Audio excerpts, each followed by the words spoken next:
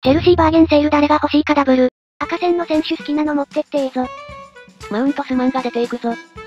ほんまにお願いだから出てかないですぐみたいに圧力かけちゃいたいレベル。赤線の奴らだけ残りそう。それに近しいことになりそうだけど、そうなったらさすがにひいきやめるかもしれんわ。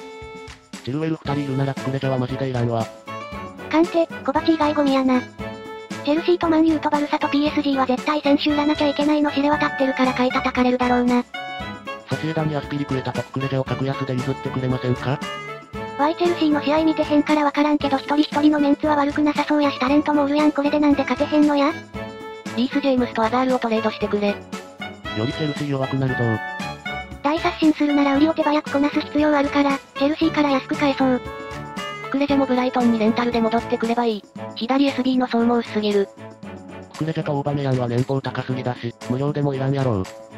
もしよければ、チャンネル登録お願いします。